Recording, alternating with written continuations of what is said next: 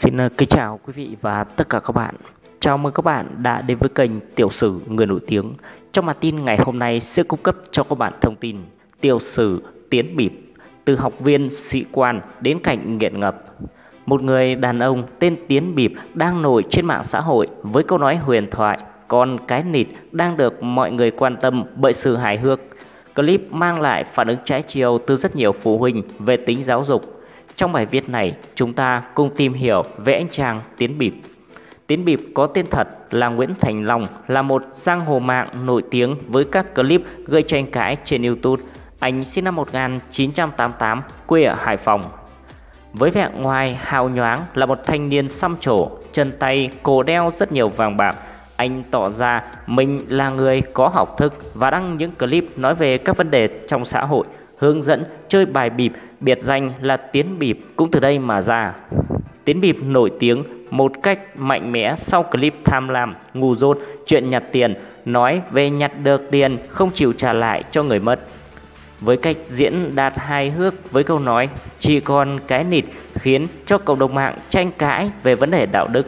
Các chuyên gia cho rằng clip đã gây ảnh hưởng xấu tới giới trẻ, tới tâm lý của những thanh thiếu niên nếu như bạn đang tìm hiểu thông tin về anh chàng này thì hãy cẩn thận với những phát ngôn của anh chàng, nó có thể là sai các chuẩn mực đạo đức.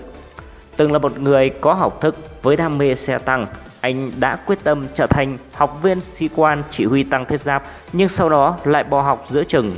Hải Phòng có đất cảng biển rộng lớn là nơi để có thể làm việc tốt lương cao. Tiến quyết định thi tiếp vào trường Đại học Hàng hải Việt Nam năm 2007. Tiến thi đỗ vào trường với số điểm 28. Nhưng khi đi học được 2 năm thì anh lại bỏ học. Gần đây, trên mạng xã hội livestream, Tiến đã trổ tài, dạy hóa, phân tích bài văn đầy thôn vĩ dạ khiến cho các bạn trẻ vô cùng thích thú, mặc dù rất lủng củng. Tâm lý các bạn trẻ sẽ cảm thấy thú vị khi có một điều gì đó mới lạ ở đây là một giang hồ lại đi giảng văn dạy bài tập hóa học. Tiến Bịp đã từng bị bắt và cai nghiện trong quãng thời gian ở tù. Anh đã tiếp tục bị bạn bè xấu rủ dê Tiến trở thành một thanh niên chơi bời xăm trộm. Nổi tiếng cùng thời với các giang hồ mạng khác như Khá Bảnh, Huấn Hoa Hồng, tất cả đã bị bắt. Riêng chỉ còn lại Tiến là không lần nào bị triệu tập. Khi đó thì sức ảnh hưởng của anh chưa lớn như hiện tại.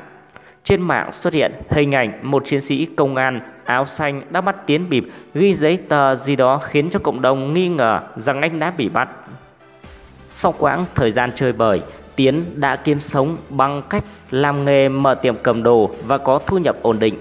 Anh cưới một cô vợ làm nghề giáo viên và hiện có ba người con và anh đã nghỉ việc để chăm lo cho các con được tốt hơn. Tuy đã có vợ con nhưng Tiến vẫn thường quảng cáo các trò chơi đen đỏ, toán, học, con số bịp. Anh vẫn đang là tâm điểm của những màn ảnh chế trên mạng giới trẻ. Những hình ảnh clip như vậy không nên xuất hiện trên mạng xã hội trong tương lai.